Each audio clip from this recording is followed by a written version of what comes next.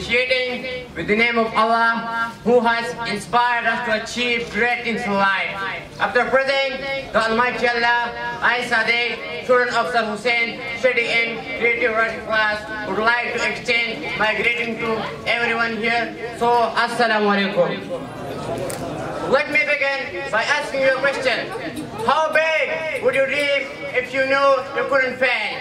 Would you dream to become a president or you dream to travel the whole world? Why are you afraid to dream? We should not only dream, we should dream big.